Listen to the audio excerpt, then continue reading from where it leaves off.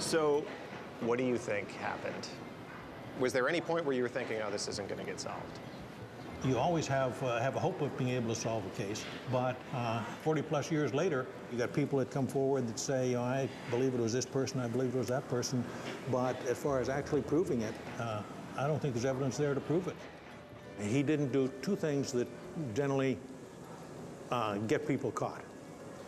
He didn't go back and do it again, unless you argue that it's McCoy, and I don't believe it, it was. Uh, and the other thing people do is talk about it. Did you ever have a time when you were working it that you felt you were you were close? This might be the guy. I think we had several suspects who looked pretty good initially.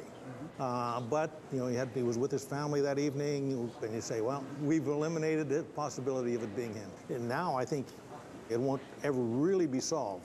Uh, you have a lot of theories out there, a lot of them that uh, could be, but I don't think we'll ever be able to prove.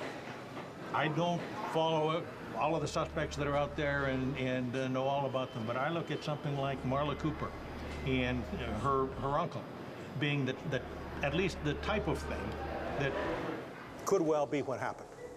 Uh, whether it is or not, I, I don't know, but uh, that, you know, that type of situation is what I think uh, How about- is about probably what's going to solve it. I frankly don't know.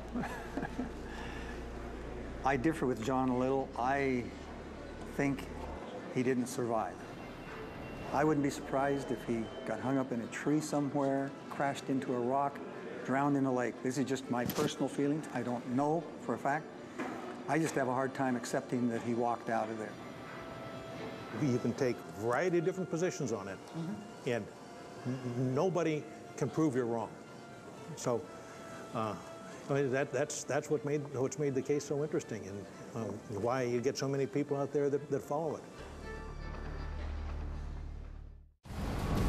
Did you know he was a Cooper suspect? I know who he is. Absolutely, he's got the skill set. This is our suspect.